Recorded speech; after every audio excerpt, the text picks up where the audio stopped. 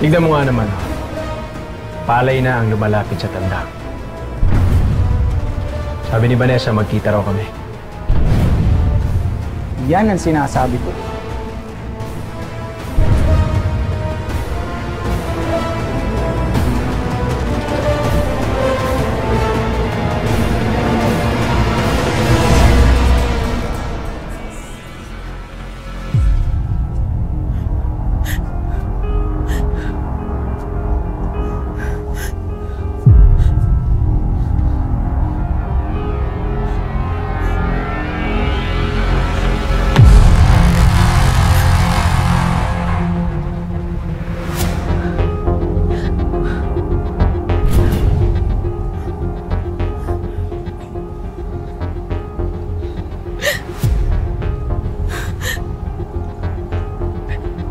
Calvin?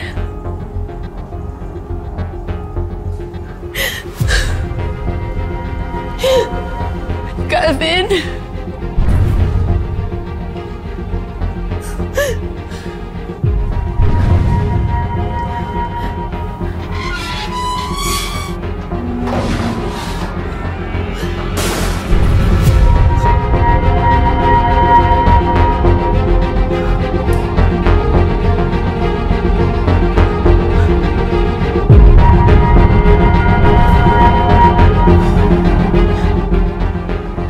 Calvin? Calvin, mag-isa lang akong pumunta dito katulad ng sinabi ko sa'yo. Calvin, salamat nagpunta ka. Calvin? Yung, yung anak ko. Pwede bang ibalik mo na sa akin yung anak ko? Nakikiusap ako sa'yo. Yan lang ang dahilan kaya kinita mo ako.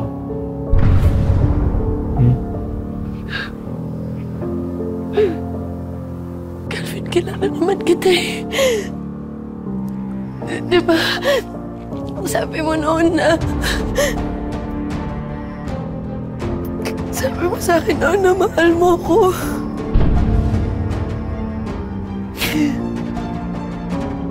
Calvin, alam kong may kabutihan pa dyan sa puso mo at hindi ka patuloy ang nilamon ng kasamaan.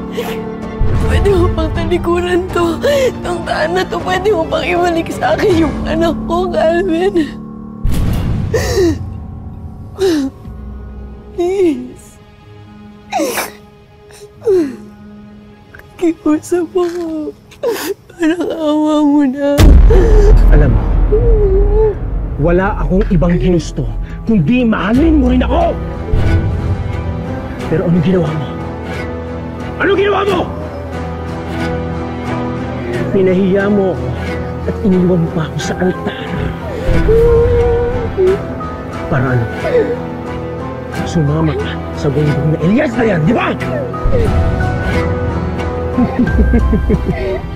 Tapos iiyak-iyak ka ngayon. Tigilan niyo na miras to. Alam ko tapos ang gera to. Parang awa mo na ibalik mo na yung anak ko. Ibalik mo na yung anak ko, Calvin. Tama na to. Tama na. Vanessa, di ako tanga kagaya mo. Lalapit sa kaaway para magmakaawa. Hindi ako ganun. Hindi gagawin ng isang ina para sa anak niya. Calvin, tama na to. Utang na loob, ibalik mo yung anak ko. Ibalik mo yung anak ko. Nasaan ba yung anak ko dito? Ha? Nasaan yung anak ko, Calvin? Nasaan yung anak ko? Ibalik na yung anak ko, Calvin. Walang awa na. Walang awa na. Sige